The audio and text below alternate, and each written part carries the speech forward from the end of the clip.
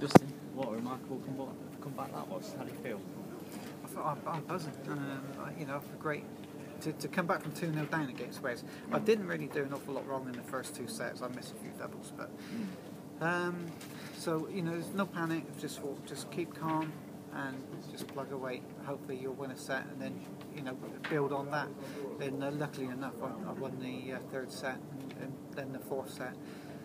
I think I won the fifth so um, you know, I ju- you just got to plug away and keep going. Absolutely. I mean, how difficult is it to play your, you know, your second round game before Christmas? A lot of players obviously play that after Christmas to get a nice break. So, well, you know, do you prefer that or do you prefer to, to get it out of the way and, and come with? Obviously, I prefer it now, um, but I, I may have preferred to have played after Christmas because then. But either way, I was determined just to um, play tonight, enjoy tonight, uh, go home and have a good Christmas, and, and I wasn't going to let it ruin it. I mean, I achieved my goal for, for, for this this year's World Championships, um, and it sounds a measly goal, you know, but. Um, I, I don't want, you know, it, it's not going to come straight away. I'm not, I'm not going to bring my floor form up onto the main stage straight away. It's just not going to happen um, because I've been so good on the floor.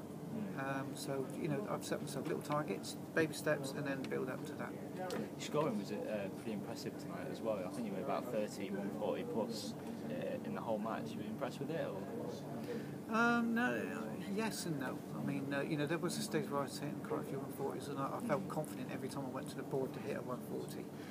Um, but, you know, there's also a few bad ones and uh, a lot of missed doubles, so I've got to brush up on that and, uh, yeah, hopefully uh, be able to sort that out in my uh, in, in my next round. And finally, I mean, how important were the breaks tonight? I think one came when you were 2 0 down, and the- the other came at 2 2 once you levelled it. Did, you know, did you find you had enough time to compose yourself and, uh, and keep calm after that? It didn't make no difference. Didn't make No, it, it makes no difference. I'll stay up there all night throwing, so uh, you know, it, it doesn't make no difference. Justin, congratulations, have a great Christmas, and we'll see you back for round three. Thank you. Cheers.